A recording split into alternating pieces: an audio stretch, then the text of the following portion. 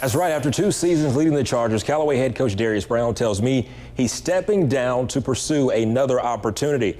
Brown led Callaway to the 5A playoffs this past season and had over 20 players sign scholarships under his watch.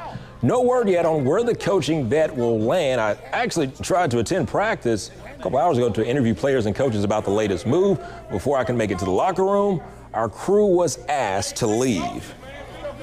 I'm saying I come out here just about every week during football season, and it's I'm saying what's the difference now? That's that's all I'm asking. I just wanted to hear from the players because we talked to the players when they hired him two years ago, mm-hmm. and I don't. That's all I'm saying. Is, is there something more that we need to know about? I'm just coming here asking football questions. I, I, I, when it, when it come down to sports, you know I know. Uh-huh. But when it come down to the school and everything that's going on right now, she she just rather not even be put up put on there.